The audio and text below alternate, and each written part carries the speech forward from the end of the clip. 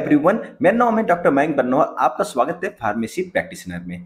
तो दोस्तों, आज हम लोग बात करेंगे बहुत ही इंपॉर्टेंट टॉपिक के बारे में, जो कि हम लोग पहले पिछले वीडियो में एंजाइना पेक्टोरिस के बारे में पढ़ चुके हैं, और आई होप आपको वो वीडियो बहुत ही पसंद आएगा। उसका लिंक मैं डिस्क्रिप्शन में दे दूँगा, या आपको जो है आई बटन में शो कर रहा होगा ऊपर की तरफ़, ठीक है? तो दोस्तों, वो वीडियो को देखिएगा, बहुत ही खूबसूरत वीडियो है, ठीक है? आपको एक प्रैक्टिकल नॉलेज के साथ साथ आपको समझाने की कोशिश की गई है एंजाइना पेक्टोरिस के बारे में, एक आपके लेवल पे बहुत ही बढ़िया, ठीक है? उसको देखिएगा, बहुत सारी आपके डाउट उससे क्लियर हो जाएँगे, ठीक है? अब आइए बात करते हैं दोस्तों मायोकार्डियल इन्फेक्शन के, ठीक है? एमआई ठीक है? इसके बारे में बहुत ही लोग जानते हैं, हर कोई जानता है हार्ट अटैक जो है, एक कामन बीमारी बनती जा रही है, इस चीज़ के ऊपर हमें फोकस करना ज़रूरी है, ठीक है? तो देखिए, हम लोग पहले बात करने, इस्मिक हार्ट डिज़ीज़ के बारे में, जिसको हम लोग C A D coronary artery disease भी कहते हैं। ये टू टाइप्स का था एंजाइना और एम आई ठीक है?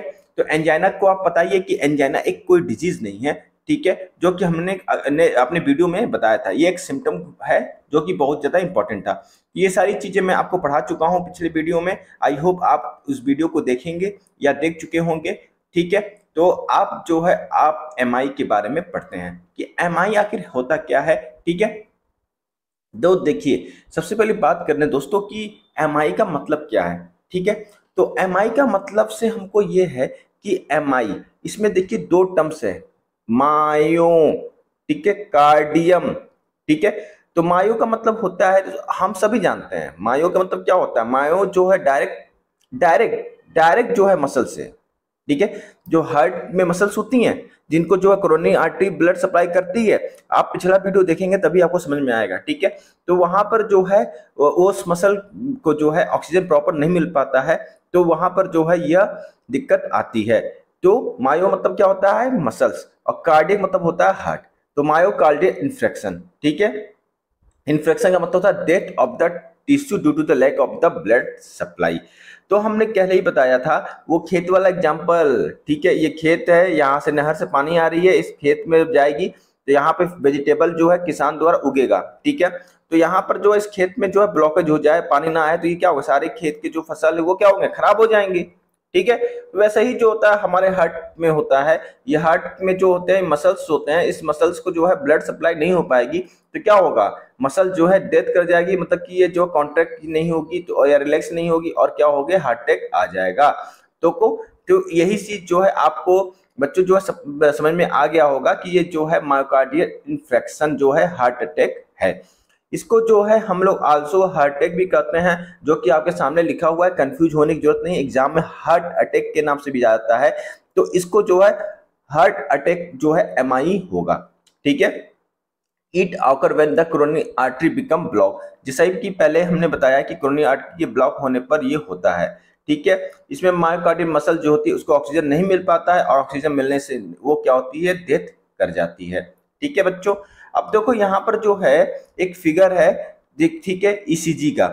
सब लोग जानते होंगे ईसीजी के बारे में सब लोग पढ़े होंगे। यदि आप टेन प्लस टू में पढ़ के आ रहे हैं तो एनसीआरटी में पढ़े होंगे, रमेश गुप्ता की बुक में पढ़े होंगे, ठीक है? हिंदी मीडियम के बच्चे जो है रमेश गुप्ता यूज़ करते होंगे। हमारे समय तो रमेश गुप्ता ही यूज़ होता था, ठीक है? तो क्या कहते हैं एनसीआरटी जो है सीबीएसई बोर्ड के बच्चे पढ़े होंगे, ठीक है? तो उनमें जो है ईसीजी का बहुत ही अच्छे से डिस्क्राइब किया गया है, ठीक है? तो ईसीजी की जरा वहाँ पर पढ़ लेगा। यदि एच की बुक नहीं पढ़ पा रहे हैं तो ईसीजी वहाँ से पढ़ लेगा। पर मैं आपको बता देता हूँ कि ये क्या है।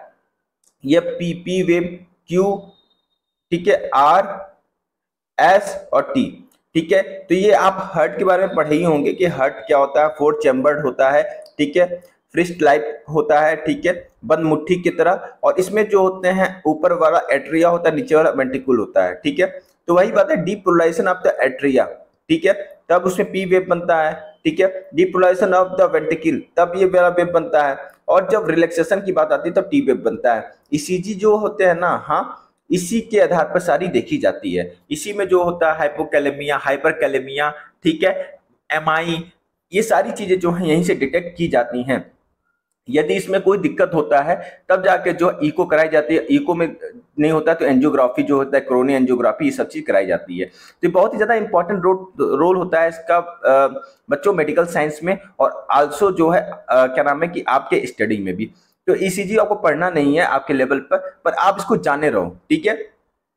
कोई पूछ दे तो आप क्या इसमें मुँह खड़पना के थोड़ा खड़े होगा कि मेरे लेवल का नहीं है? ठीक है, आपके लेवल का, आपको ये सब चीज़ें थोड़ी पता होनी चाहिए। पता होना चाहिए ये सब चीज़ें जो कि आपको जो हेल्प करेगी।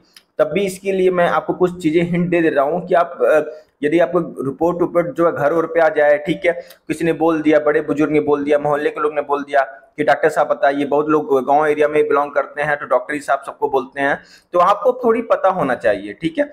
तो इसलिए जो है यहाँ पर कुछ चीज़ें मैं आपको बताऊँगा, ठीक है? प्रैक्टिकली जो मैंने आपसे वादा किया था, ठीक है? आप एग्ज़ाम में बनाओ या ना बनाओ, यदि बनाते हो तो अच्छे नंबर आपको मिलेंगे, ठीक है बच्चों? क्योंकि ये एक्स्ट्रा आप जो एफर्ट कर रहे हो एग्जामिनर को अच्छा लगेगा, ठीक है? और ऊपर से बात है फार्मोथेरेपेटिक्स की। तो फार्मोथेरेपेटिक्स में जो है, ज़्यादातर जो है आपको पढ़ाने वाले, यदि फार्मडी के लोग ही डाले जाएँगे तो वहाँ पर जो है उनको अच्छा लगेगा, ये चीज़ बढ़ाएँगे और आपको नंबर भी अच्छे मिलेंगे, ठीक है? इसलिए आपके लाई गई है आपके एग्ज़ाम में नहीं पूछा जाएगा, घबराने की ज़रूरत नहीं है। आप चाहो तो इस चीज़ को आप स्क्विप भी कर सकते हो, आपको सीखना तो कर सकते हो, ठीक है? तो यहाँ पर देखो, बच्चों, मैं कुछ चीज़ें आपको बताने वाला हूँ। जैसे कि यहाँ पर देखो कुछ चीज़ें हैं, जैसे कि या इसको क्या बोला था मैंने? पी, इसको क्यू, आर, एस और टी। अब देखो जो एस टी होता है, यहाँ पे देखो एस और टी ये है एस और टी ठीक है?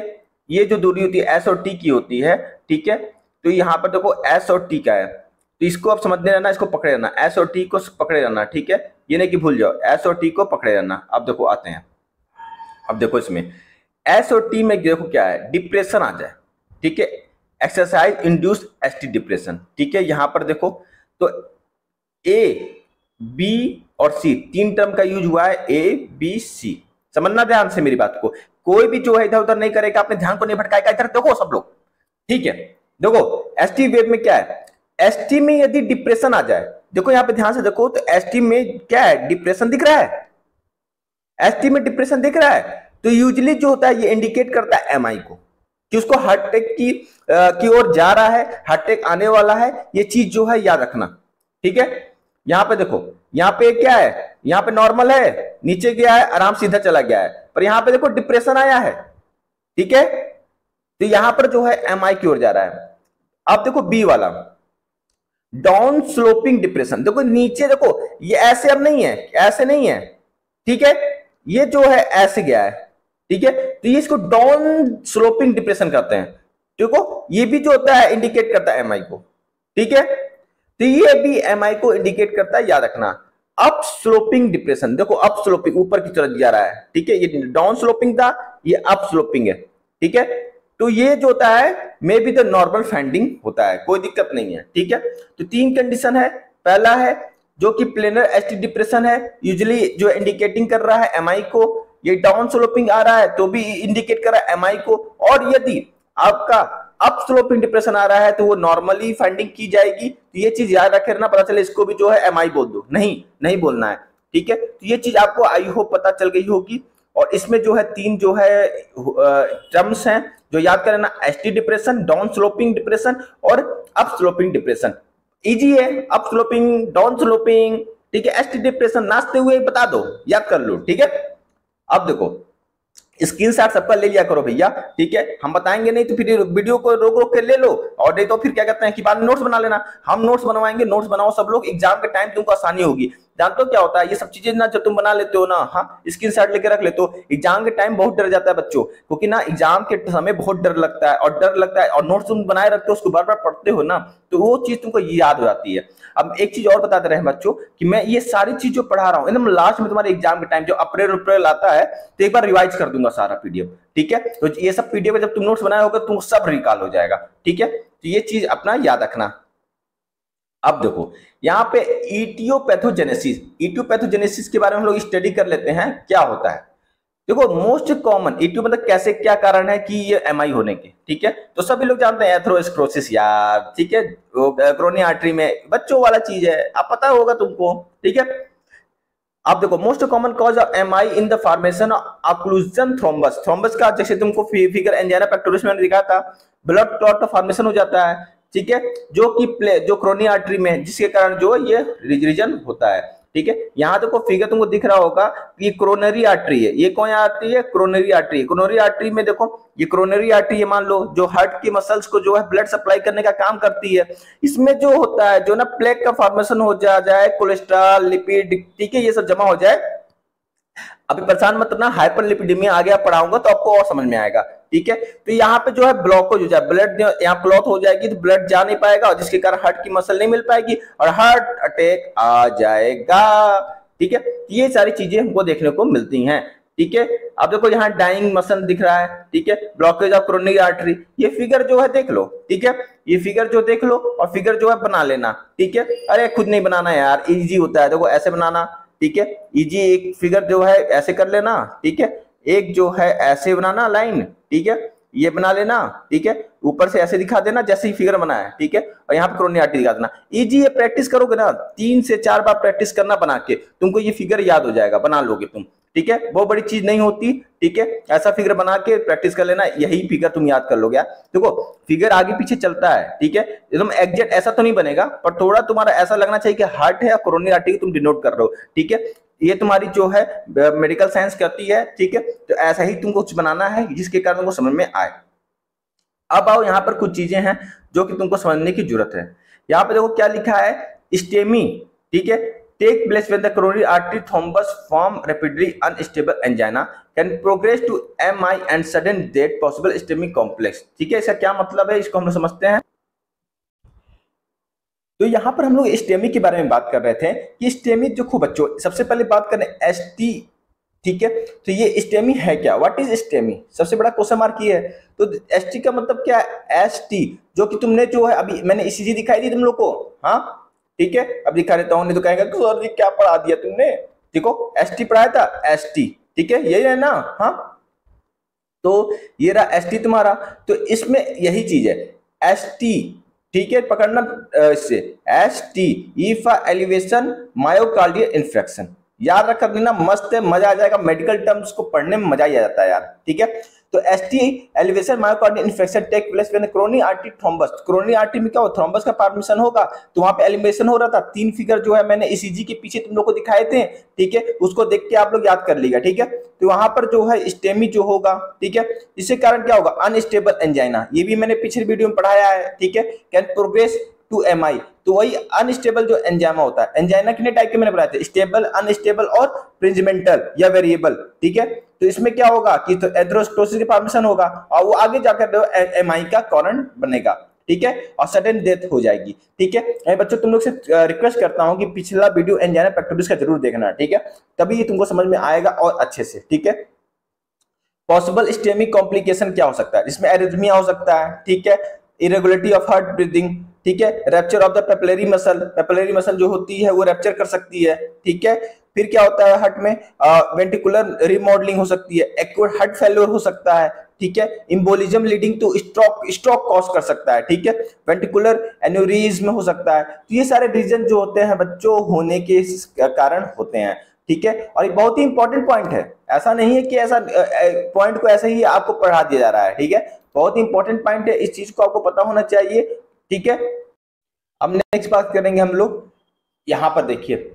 यहाँ पर जो है तो, तो आपको जो स्टेमी पढ़ाई गई थी ठीक है? वहाँ पे वही चीज़ आपके बारे में थोड़ा सा लिखाया गया है। इसके बारे में कुछ लिख लिखाया लिखा गया है इसको समझने की कोशिश करते हैं। एस टी एलवेशन इन्फेक्शन जो होता है एक टाइप का टाइप हार्ट अटैक है ठीक है?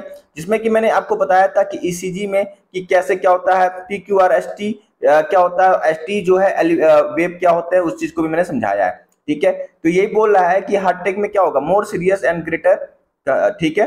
More serious and greater risk to serious complication and death भी हो सकता है, ठीक है? तो यहाँ पर आपको जो है दिखाई गई है, ये फिगर जो आप याद कर लीजिएगा और अपने एग्ज़ाम में लिख दीजिएगा, ठीक है? आपको जो है ये बढ़िया सा याद होना चाहिए, ठीक है? अब यहाँ पर देखो, यहाँ पर जो है अब आता है clinical manifestation sign on symptom की बात कर लेते हैं हार्ट अटैक के। क्या होते हैं किसी पेशेंट को? क्या आखिर रीजन होता है, ठीक है? तो मान लीजिए कि कोई पेशेंट है और आपके फार्मेसी पे आ रहा है, ठीक है? और उस फार्मेसी आपके फार्मेसी में आ रहा है, उसकी बीपी बढ़ी हुई है, ठीक है? ठीक है? रिपोर्टिंग की गई है। आप अपने बीपी ऑपरेटर्स अपने पास रखिएगा स्टेथो हो गया, ठीक है? अपने स्पेग्नोमीटर को, यदि आप डिजिटल यूज़ कर रहे हैं तो डिजिटली रखे रहेगा ठीक है? उनकी बीपी ज़रूर आप नाप लीजिएगा। ठीक है यदि आपके पास टाइम है तो। जिससे पेशेंट के बारे में कुछ पता चल सके। और ठीक है तो ये सारी चीज़ें आपको भी पता होनी चाहिए। उसके सिम्टम्स को भी आपको थोड़े मोड़े पता होने चाहिए, जिसके कारण कि उसको सही समय पर सही सलाह आप दे सके। ठीक है? तो देखो यहाँ पर क्या होगा। यहाँ पे देखो जा, ठीक है नेक ठीक है, फिर शोल्डर ठीक है, और बैक आर्म ठीक है बैक आर्म यहाँ पर क्या होगा? पेन होगा। पहली कंडीशन कहाँ कहाँ बोला हूँ मैं? जा पर माउथ के पास, ठीक है नेक पर फिर शोल्डर पर और आर्म पर। ये मज़ाक मत समझना, ठीक है कि कुछ भी कुछ भी लिख देंगे। याद होना चाहिए कहाँ पर कहाँ पर लिखा गया है। शोल्डर पे, जा पर नेक पर और आर्म पर, ठीक है? यहाँ पर जो होगा पेन होगा। और बैक में, ठीक है? अब देखो यूजली टायर्ड बहुत ही थका हुआ महसूस करेगा, फिर उसकी रुक रुक के सांस लेगा, ठीक है? फिर आएगा चेस्ट पेन होगा उसको, ठीक है? ये चेस्ट पेन देखो इस एरिया में पूरा होगा।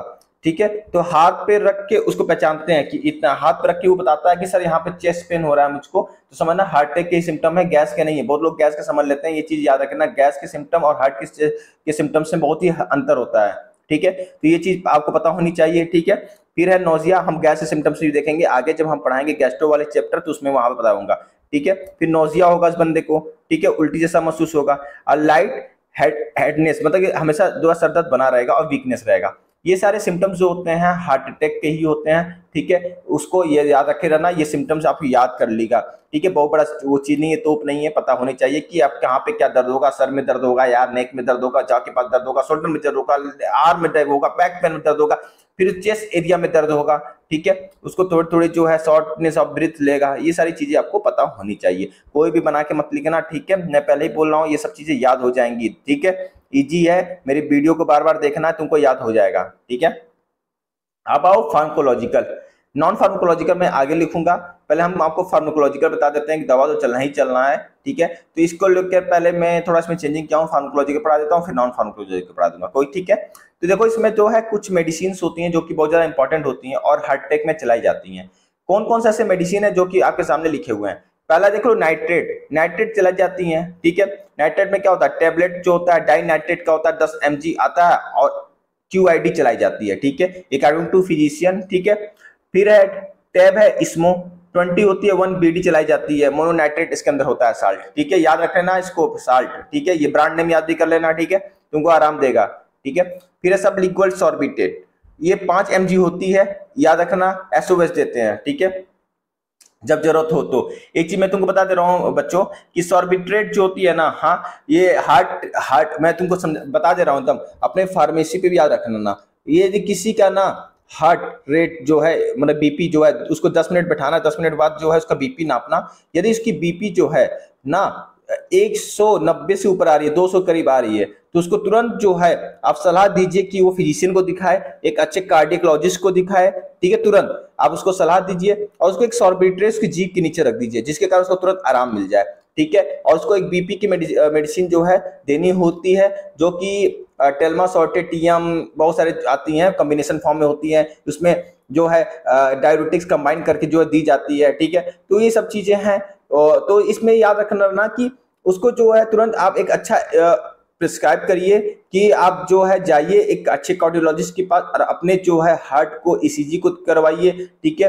टू टू डी को करवाइए, जो जो करवाना है उसको करवाइए तो कार्डियोलॉजिस्ट उसको अच्छा एक सलाह दे सकता है। नहीं तो पेशेंट की जान भी जा सकती है, क्योंकि तो यदि बीपी बड़ा होगा तो आप जानते हैं क्या क्या दिक्कत आ सकती है। ये सब चीज़ें आपको पता होनी चाहिए। मेरा मानना ये है पूरे देश के फार्मेसिस्ट जो हैं, यदि अपने फार्मेसी खोल के बैठे हुए हैं। देखो, मैं झोला छाप मेडिकल वाला नहीं बोलना चाहूँगा मेडिकल वर्ड होना ही नहीं चाहिए। फार्मेसी खोल के बैठे हुए हैं तो अपने फार्मेसी भी ये सब चीज़ें जाने रहिए और पेशेंट को अच्छा काउंसलिंग करिए, ठीक है? तभी आप जो है अपने पेशेंट को भी अपना बनाए रखेंगे और पेशेंट आपसे खुश होगा और हमारे फार्मेसी डिपार्टमेंट का, हमारे फार्मेसिस्ट का भी नाम होगा। सही सलाह देंगे, सही डोज देंगे, सही रूट बताएँगे, सही जो है इंट्रक्शन बताएँगे तो रियल मानिए। दोस्तों हम फार्मेसी प्रोफेशन के लिए अच्छी बात होगी। इसकी जो है ऊंचाइयाँ छुएँगी। इसी कारण जो है, आप ये सब चीज़ें याद रखिएगा और मैं आपको हमेशा इस सब चीज़ों के लिए बताता रहूँगा, ठीक है? तो यहाँ पर देखिए, यदि एसओएस है, ठीक है take a immediately if pain pain हो रहा है तो सब लीगल टेबलेट को रखने को कहेगा, ठीक है? उसको कहेगा पैकेट में रखने को, ठीक है? यदि फिर टेबलेट कार्डिक जो कि 1.25 mg आता है, इस, ठीक है, ये टीडीएस देते हैं, जिसके अंदर रिमिप्रिल और और एसी इनबिटर होता है, जो कि यह tablet मोटोलार XL 25 M G OD ठीक है? इसके अंदर ये जो होता है बीटा ब्लॉकर जो होता है मेटोप्रोलॉल होता है, ठीक है? ये चीज़ रखना, ये ये ब्रैकेट में है, ठीक है? कुछ लोग कंफ्यूज न हो जाए, बच्चे कहे कि क्या पढ़ा दे रहा मास्टर ठीक है? ये ब्रैकेट में होता है, याद रखे रहना, ठीक है? ये चीज़ एक साथ है। तो ये टेबलेट जो है, एक बार मैं और रिवाइज कर देता हूँ, कोई जल्दीबाजी नहीं है। टेबलेट कार्डिक 1.25 mg 1 tds इसके अंदर रिमिप्रिल होता है एसी इनहिबिटर ठीक है? ये देंगे, या फिर ये वाला टेबलेट चलाएँगे, जो कि एक बीटा ब्लॉकर होता है। इसमें से आप एक ही याद कर लीजिएगा मैं तो इतना लिख देता हूँ कि बच्चों, कोई भी तो याद हो जाए तुमको, ठीक है? कोई भी तो याद हो जाए एग्ज़ाम में याद होने चाहिए, और अपने लाइफ स्टाइल में भी याद होने चाहिए, खाली एग्ज़ाम में नहीं। आप देखो टेबलेट जो है नोवा स्टेट 10 एम जी एच एस चलाते हैं। इसका जो साल्ट होता है राजुआ स्टेटिन ठीक है? ये याद रखना राजुआ स्टेटिन जो होता है, इसका साल्ट होता है, और ये जो stabilize plaque and control hyperlipidemia में भी यूज़ होता है। ठीक है तो ये भी चलाई जाती है। और कैप्सूल जो होता है ओविस्टा वन ओडी एंटीऑक्सीडेंट चलाई जाती है। आप एंजिना पैक्टोरिस पढ़े होंगे तो उसमें भी मैंने बताया गया है। ठीक है? एंटी थ्रोम्बोलिटिक ड्रग भी चलाई जाती है, उसको भी हम लोग पढ़ लेते हैं बच्चों। लो डोज एस्पिरिन चलाई जाएगी 50 एम की ओडी में। ठीक है? कार्डियोलॉजिस्ट के द्वारा और क्लोपिडोग्रिल जो होती है पचहत्तर एम की चलाई जाती है, और फिर है strict control of hypertension diabetes ये सब चीज़ कंट्रोल करना होता है, और टेबलेट यूनिवेरफेरिन जो होती है एंटीकोगुलेंट जो है, चलाई जाती है कार्डियोलॉजिस्ट के द्वारा। ठीक है कार्डियोलॉजिस्ट जो होता है, इसको ऑब्ज़र्व करता है, और उसके अकॉर्डिंग जो है मेडिसिन चलाई जाती है। ठीक है, पर आप प्राइमरी लेवल पे मैंने आपको बता दिया कि आपका क्या काम है, उस चीज़ को आप जाने रहिए। ठीक है क्योंकि आप जो है, हमारे देश की जनसंख्या बढ़ते चली जा रही है तो लोगों में हाइपरटेंशन बीपी जो है डायबिटीज़ ये सारी चीज़ें बीमारियाँ बढ़ रही हैं। लोग अपने लाइफस्टाइल को चेंज करना नहीं चाहते हैं। तो आइए लाइफस्टाइल को चेंज करते हैं और अपने देश को स्वस्थ बनाते हैं नॉन फार्मोकोलॉजिकल एक्टिविटी से। ठीक है? तो इसमें क्या आपको बताना थेरोपेटिक लाइफस्टाइल चेंज करिए भैया, ठीक है? डाइट को सही करिए रेस्ट्रिक सोडियम इंटेक लीजिए, जितना आपको डेली डोज है उससे कम करना है आपको, ठीक है? मैंने डोज बताइए आप लोग हाइपरटेंशन में बता के बताइएगा कितना है, ठीक है? वहाँ पे मैंने लाइफ नॉन फार्मोकोलॉजिकल में पढ़ाया है कितना डोज होना चाहिए। अवॉइड सडन एक्सरसन ठीक है? तुरंत कुछ झटके वाला काम ना करिए। सीढ़ी चढ़िए भैया तो धीरे धीरे चलिए। जल्दीबाजी किस बात की है? ठीक है? बचपना नहीं रही है आपका हार्ट की प्रॉब्लम लेके बैठ गए, ठीक है? ये चीज़ होनी चाहिए, ठीक है? फिर है graded exercise in the form of walking ठीक है? वॉकिंग करिए भैया डायरेक्ट बस। और फैट फ्री डाइट लीजिए सनफ्लावर आयरन में खाना खाइए, ठीक है? नो स्मोकिंग स्मोकिंग को रोकिए, ठीक है? तो बच्चों, ये सारी चीज़ें जो है नॉन फार्मोकोलॉजिकल में आनी चाहिए आपको। ये जो है इंपॉर्टेंट होती है, और नॉन फार्मोकोलॉजिकल मैं मानता हूँ कि सबसे इंपॉर्टेंट होता है लाइफस्टाइल को चेंज करने के लिए। यदि इसको आप नहीं चेंज करते हैं, दवा लेते रहिए, कुछ मतलब नहीं है भैया, कुछ मतलब नहीं है, मैं इतना जानता हूँ, ठीक है? तो ये सारी चीज़ें जो है इंपॉर्टेंट होती हैं। तो बच्चों, कैसा लगा वीडियो? ज़रूर आप कमेंट बॉक्स में बताएगा और बच्चों, आपसे रिक्वेस्ट है कि दूसरे लोगों को भी शेयर करिए। अपने तक मत रखिए, दूसरों को फ़ायदा दे दो यार, ठीक है? कहाँ है रिश्या रहे हो, ठीक है? तो ये सब चीज़ें जो है, कहीं ना कहीं आपको भी फ़ायदा ही देंगे। अच्छा करोगे भला तो होगा आपके साथ भला, ठीक है? तो आज के लिए बच्चों, इतना ही। और यदि कोई भी जो है दिक्कत है, परेशानी है, ठीक है, आप ज़रूर कमेंट बॉक्स में दीजिए, मैं आपको उसका आंसर ज़रूर दूँगा, ठीक है? आज के लिए इतना ही। फिर मिलेंगे नए वीडियो के साथ। Thank you